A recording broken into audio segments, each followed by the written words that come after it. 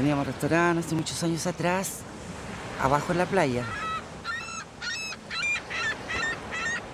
Recuerdo a un joven solitario, se me sentaba en la primera mesa y ahí él con su pierna arriba escribía y escribía y escribía.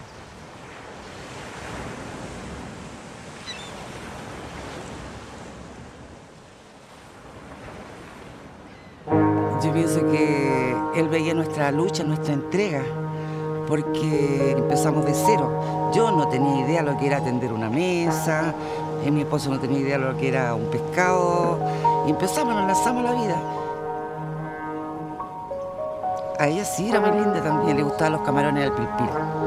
Comía mucho camarón al pilpil. Y a él le gustaba el caldillo de congrio.